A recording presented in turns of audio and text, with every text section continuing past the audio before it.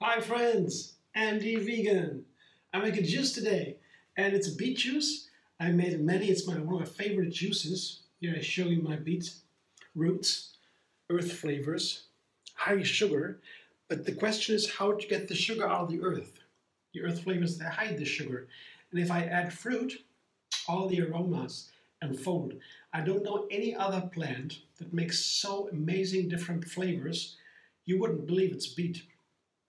Uh, but I have beet with the leaves. Yeah, there's a got the beet here with some leaves and stems. You see down there on the leaves. Yeah, you see like here. Maybe you can see some leaves green. Yeah, the, the beet leaves, the beet greens are also nice to juice. And today I have the fruit to open up the flavors. Have a triple here, a trio, a very common one. Apple, pear, number two and one. Yeah, two cups each, around the same amount, doesn't really matter, about around the same amount, and oranges. So very common triple, and this juice by itself uh, is amazing. It's suitably nicely balanced, sweet and sour, and a little bit bitter, and then the creaminess from the pears, wonderful.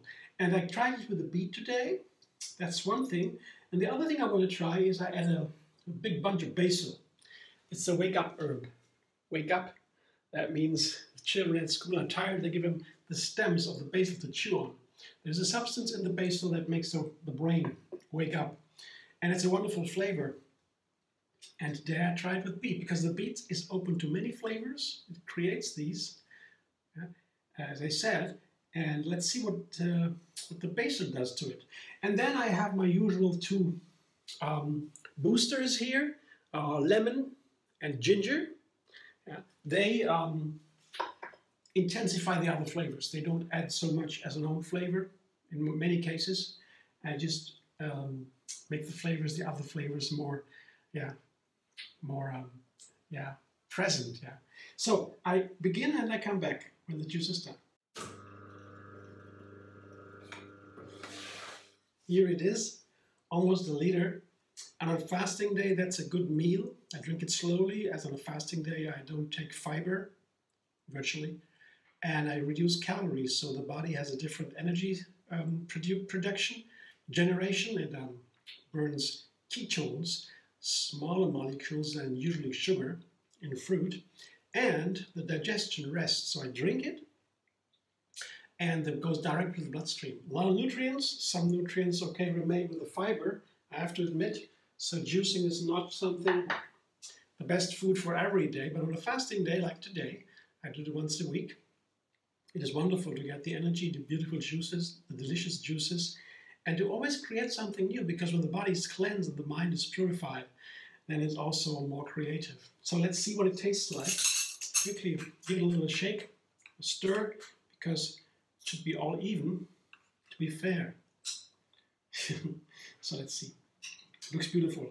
The texture is beautiful. It's creamy, a little bit creamy, as I said, from the back to pear usually. The color is dark red. Ah, that's usually what it does with beet and it's darker because of the basil, the green, that makes it darker.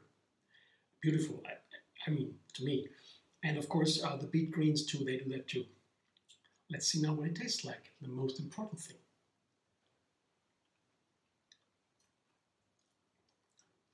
Mm. Good, good. I added a little bit of lemon peel, gives a nice lemony touch, and it's good. It's the healthiest part of the lemon, by the way. But I can't do too much because it gets bitter. But here's the juice. I used half a lemon peel or so. Here's the juice. Let it have a look. Isn't that beautiful?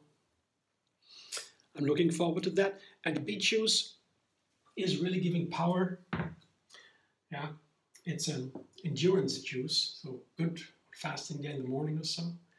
Check it out. Thanks for watching. I hope you enjoy. If you like, like my video, subscribe at MD Vegan YouTube. Have another recipe every single day and find me on Facebook, Instagram, Pinterest, and X. And Tree Yoga Moon Fasting is on Facebook. Check it out. All the juices, the best fasting days, calendar. See you soon.